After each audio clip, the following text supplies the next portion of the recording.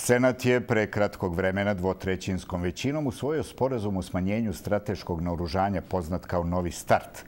Time je zamenjen stari start, čije važnost istekla pre godinu dana i dodatno za gotovo trećinu smanjen broj nuklearnih oruđa koji Rusije i Sjedinjene države mogu da zadrže.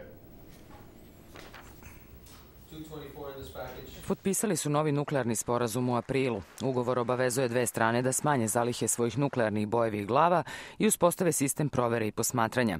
Njegova ratifikacija pre kraja godine veoma je značajna za Obamu jer će njegova demokratska stranka posle nove godine imati manji broj mesta u Senatu.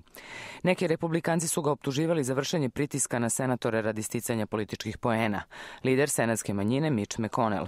O ovako važnoj odluci ne bi trebalo odlučivati pod pritiskom nekog roka. Drugi republikanci tvrdili su da ugovor ne osigurava verifikaciju ruskih obaveza i da će oslabiti američki sistem raketne odbrane. Republikanski senator iz Južne Dakote John Toon Smanjit ćemo naš arsenal na nivo koji mnogi od nas čini nervoznim. Ali pristalice sporazuma, uključujući neke istaknute republikance, kažu da se njime obnavljaju neophodne inspekcije nuklearnih arsenala. Republikanac iz Indijane, Richard Lugar. Start je u interesu naše nacionalne bezbednosti i potreban nam je odmah.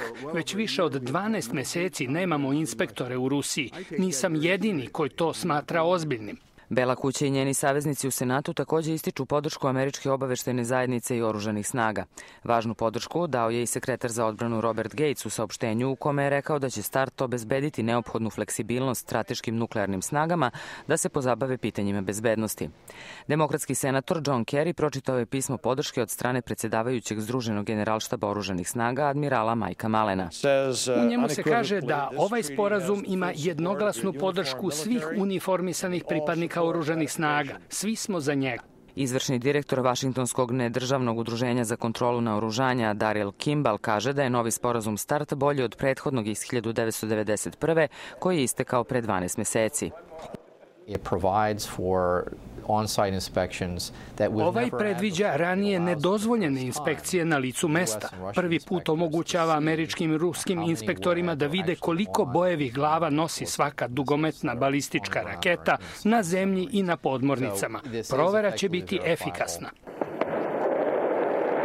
Prema sporazumu, obe zemlje moći će da imaju po 1550 bojevih glava umesto 2200. Ugovor još treba da ratifikuje ruski parlament, ali stručnjaci predviđaju da će se to i dogoditi.